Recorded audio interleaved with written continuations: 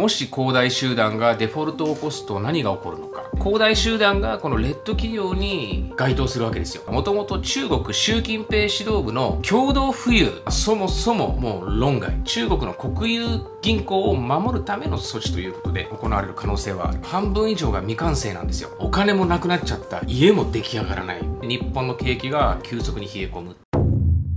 こんにちは、カズです。越境3.0ということで今日も始まりました越境3.0チャンネル。本日もどうぞよろしくお願いします。この度新チャンネルをスタートしました。えー、YouTube の新チャンネル、旅マニアの秘密基地。旅の専門家である小馬健さんと一緒に、えー、世界のいろんな面白話を旅という切り口からお届けしておりますので、柔らかく、えー、楽しく、そして学べるようなね、まあ、そんなチャンネルを目指してます。コンセプトはもっとずっと世界を身近にということで、越境3.0チャンネルとはちょっと違った切り口の、まあ、越境3.0チャンネルというのは世界の時事問題、海外情勢、いろんな形で皆さんにお伝えしてますけれども、旅マニアの秘密基地では旅という切り口から皆さんに世界の面白い話をお届けしたいと思います。ぜひチャンネル登録してお楽しみいただけたらと思います。えー、リンクは説明欄の方に貼り付けておきます。よろしくお願いします。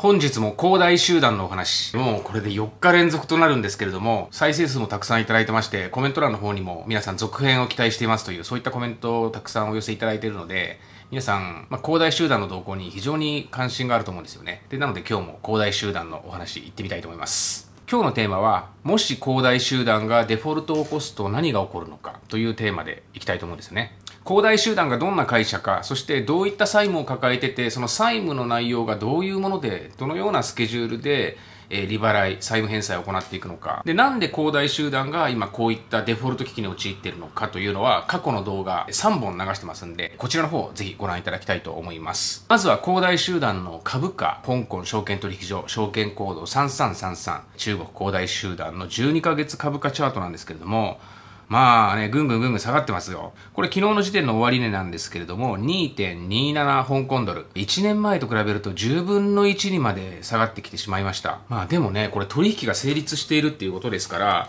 この安い価格で、えー、恒大集団の株を買っている投資家もまあいるわけですよね。一発大逆転狙いで、激下がりに下がりに下がった中国恒大の、まあ、株を、まあ、買ってる投資家もいるということで、まあ、それでこれ取引が成り立ってるわけなんですけれども、これどうでしょう？復活するんでしょうかね？もうこれ終わってる感じしますけどね。まあ、こういった推移で1年間かけて10分の1にまで下がってきたというのが、えー、中国恒大集団の株価。まあ、この香港市場が不動産セクターの上場銘柄非常に多いんですけれども、まあ、香港の市場全体が下がってて、それに引きずられるようにアメリカも日本も株価がまあ下がったんですよ。まあ、それを踏まえた上で、まあ、リーマンショックの時のような、まあ、世界同時株安とか、世界同時金融危機みたいなそういったことが起きるんじゃないかと言っている方も多いんですけれどもそれはなかなか考えにくいんではないかという見方も、まあ、結構多いですよね。リーマンショックの時のような世界同時株安、まあ、連鎖的な金融破綻っていうのは、まあ、考えにくいんではないかと。まあ、今日はそんなお話をしていきたいと思います。まずそもそもなんで恒大集団がこのようなデフォルト危機に陥っているのか、詳しくはま前の動画見ていただきたいですけれども、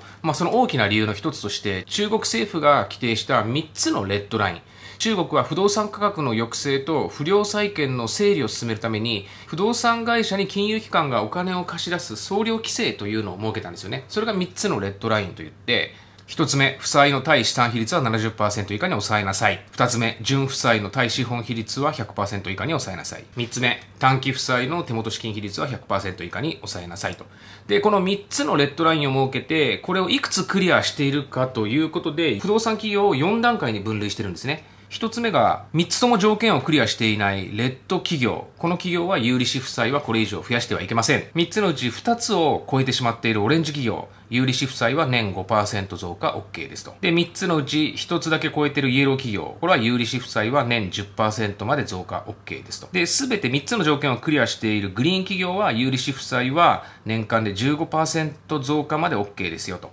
こういった4つの企業に分類して、恒大集団がこのレッド企業に該当するわけですよ。恒大集団は新規開発でこれまで融資を当てにしていたんだけど、これ以上新規に資金調達をすることができないということで資金繰りが急速に悪化した。この3つのレッドラインというのは、もともと中国習近平指導部の共同富裕という考え方に基づいてるんですね。共同富裕ってのは何かというと、一部のお金持ちがどんどんどんどん豊かになって、一般の人民が貧しいまんまというのは、これは良くないから是正しましょうと。みんなで共同に豊かになっていきましょうというのが共同富裕という考え方で、そのためにあまりにも儲かりすぎてる会社とか、不動産バブルとか、そういったこのお金の持ってない一般庶民がどんどん苦しくなっている状況をクリアするためにこういった制度が設けられたんですよね。ここでもしも中国政府が恒大集団に救済の手を差し伸べてしまうと、そもそも習近平が言っている共同富裕という考え方はおかしいんじゃないのかと。それを否定するような考えになってしまうんですよね。共同富裕のもとで導入したこの3つのレッドラインという中国政府の企業への統制強化がそもそも失敗だったんじゃないのかという、そういう認識になってしまうんですよ。なのでそれを認めることはさすがにできないということで、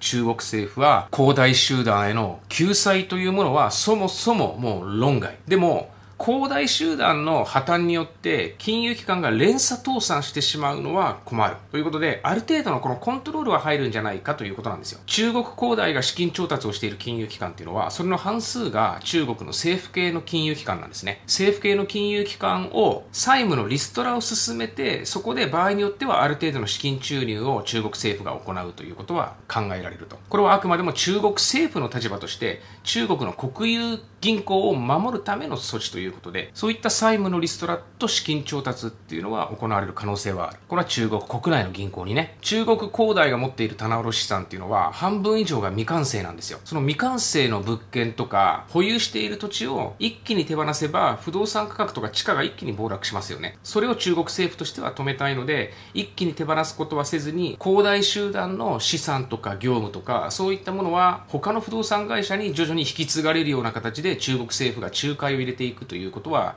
考えられるわけですよね。あと問題になっているお金は払ったけれども建物が完成しなくてお金もなくなっちゃった家もない。そういうもう路頭に迷ってる個人がいっぱいいるわけですよ。将来の老後資金のために一生懸命貯めておいたもう1000万、2000万のお金を中国恒大の未完成不動産に投資してしまったと。それがお金が返ってこない。家も出来上がらない。もう一文なしになってしまったっていう人がもういっぱいいるんですよね。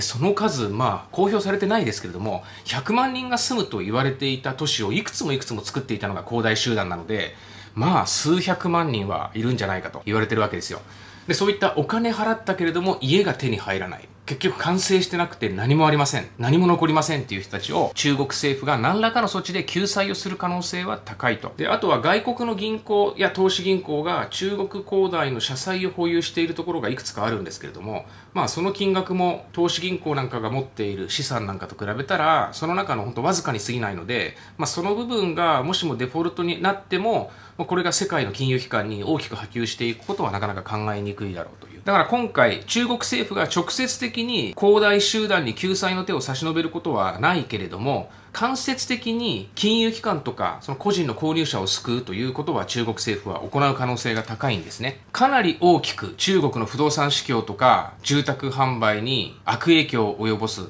大きな打撃をもたらすという、そういった可能性は非常に高くて、今年から来年にかけて中国経済というのが急激に減速していく可能性はある。しかしそういったものを通じて、それが世界の金融危機に大きくつながっていくということはなかなか考えにくい。その一歩手前の段階で中国政府が中国国内の問題処理として解決していく、そういった方向に向かうのではないかという公算が大きいんですよね。でもね、中国国内っていうのは非常に景気が減速して、もう不動産販売、住宅販売、そういったところで、まあ、大きな影響をもたらしてくるんではないかという。で、そこから世界に対して、まあ、どんな影響を受けるかしたら、金融危機以上に、例えば日本だと中国の景気が冷え込んで、中国マネーが日本に入りづらくなってきて、中国人がお金を使わないようになって、日本の景気が急速に冷え込むっていうことは考えられますよね。日本っていうのは中国人とか中国企業によって投資とかいろんな貿易とかの面でも非常に中国マネーの恩恵を受けていますからその部分で日本が景気減速するというのは考えられるし